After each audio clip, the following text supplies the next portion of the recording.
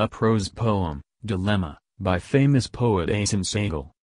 My feelings of love, affection, and devotion compel me to express, to disclose, to talk, to confess.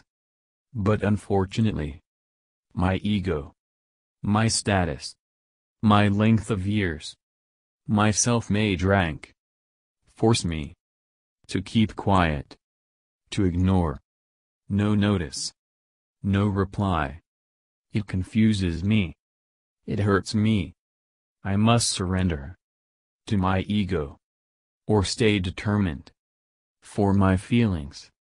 The both forces put me in the war. I feel a dilemma.